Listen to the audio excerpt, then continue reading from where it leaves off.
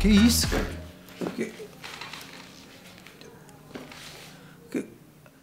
É. É, tá bom. Tô vendo aqui, ó. Vídeo pornô na internet.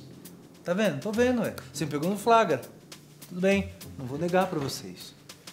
Só que eu quero que você saiba que eu não tô fazendo isso aqui pra me divertir, não.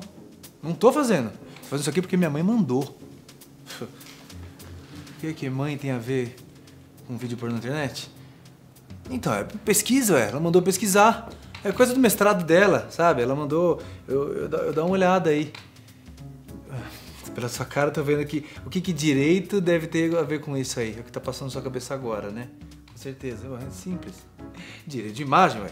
Direito de imagem é um direito que a pessoa tem ou não de colocar a imagem dela na internet. É uma coisa muito séria, sabe?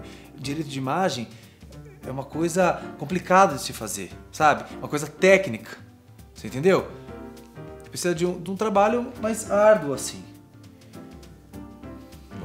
Bom, eu, eu sei. Eu sei que eu, que eu tô te devendo uma explicação do que, do que eu tô fazendo aqui, né? Uma parte da minha parte. O porquê que eu tô fazendo isso.